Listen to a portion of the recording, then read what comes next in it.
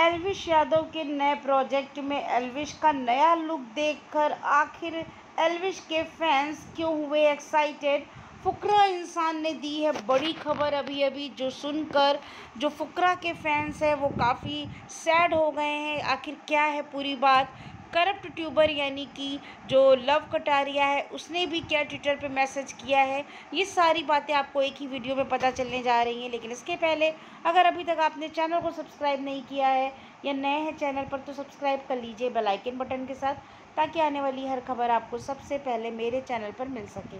तो चलिए दोस्तों, आपको बता दूँ एलविश यादव ने कल रात भर शूटिंग की, उनका नया प्रोजेक्ट आ रहा है, जिसका ये नया लुक आप देख सकते हैं। इसके बाद आप देख सकते हैं, दूसरी खबर ये है कि लव कटारिया ने एक बड़ा मैसेज किया है, जिससे सीधा सीधा इल्ज़ाम फुकरा पे गया है। अभिषेक है सेट टू द टीम अगर एलविस पार्टी में आएगा तो मैं नहीं आऊँगा, ये बात हो रही है। बिग बॉस ओ की सक्सेस पार्टी की, जहाँ पर एलविश गए थे और फुकरा और मनीषा नहीं आए थे और इस बात का खुलासा खुद बेबिका ने किया है। बेबिका को भी यही चीज़ पता थी और इसीलिए फुकरा और मनीषा नहीं आए थे और अभिषेक मल्हान ने अभी अभी ट्वीट किया है कि कुछ कारणवश उसका जो वीडियो है वो अभी नहीं आएगा, लेकिन बहुत जल्द आपको वो वीडियो दिखेगा। आज नहीं आएगा, कल आपको बहुत अच्छा वीडियो मिलेगा देखने को। तो ये तीनों अपडेट आई हैं अभी अभी, लेकिन इससे एक चीज़ तो साफ़ है कि फ़ुकरा और अलविश के बीच कोई भी चीज़ नॉर्मल नहीं है।